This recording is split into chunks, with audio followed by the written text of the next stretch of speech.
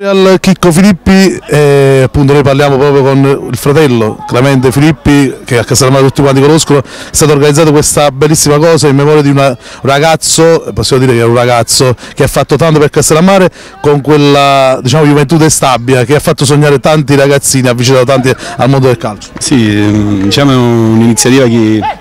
mi ha emozionato perché è partita da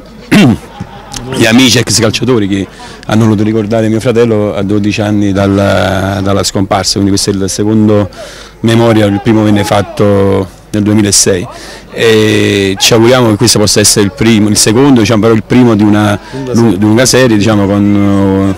che possa essere sempre migliore l'organizzazione, sempre con la presenza sempre più di, di calciatori, di amici soprattutto perché Chicco era amato e voluto bene da tutti e lo dimostra il fatto che la presenza di tutte queste persone che ci sono qui una giornata di festa di domenica dove potevano stare al mare tranquillamente. Ecco, ci vuoi svelare magari se ti viene un aneddoto di Chicco, magari quando era, ce ne saranno tanti giustamente, ma una cosa che ti porterai sempre nel cuore di tuo fratello? No vabbè, è, è difficile dirne uno perché al di là del rapporto, cioè, certo. di un fratello ti ricordi tutto, quindi diciamo, sono cose che restano a noi, sicuramente era, era una persona detta di tutti passionale, una persona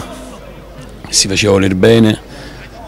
che amava Castellammare e quindi e nel suo piccolo, diciamo con una realtà piccolissima, perché stiamo parlando di una squadra che è partita dalla terza categoria, comunque è riuscita ad arrivare in prima categoria, diventando comunque in quegli anni un punto di riferimento per il calcio minore oltre alla Jugoslavia, la Libertas che erano storiche, c'era la Juventude. Ecco sì, infatti stavamo parlando della Juventude seconda squadra in quella circostanza, noi abbiamo sempre detto che a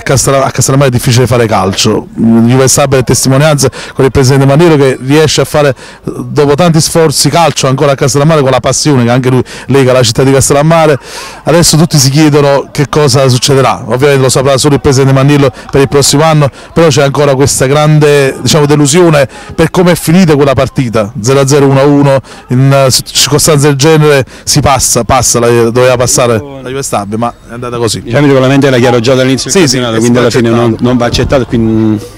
cioè, può essere solo un rammarico per questa cosa, eh, di essere riusciti a fare un gol in trasferta, però eh, il rammarico è altro, il rammarico è il fatto di non aver eh, avuto la buona sorte dalla nostra parte perché già nel match d'andata si poteva concludere un risultato diverso. Palo di Papone ci ricordiamo. Sì, e poi l'atteggiamento della Reggiana che comunque aveva timore dell'avversario, già questo è un segnale che dai, quando gli avversari ti temono significa che comunque sei una grande squadra. E l'abbiamo dimostrato a Reggio perché ad 8 minuti alla fine, a 10 minuti alla fine eravamo passati, eravamo in vantaggio di nuovo, però adesso è inutile recriminare, per il futuro adesso ci godiamo questa giornata di, in memoria di, di, mio fratello, di Chicco, poi è normale che eh,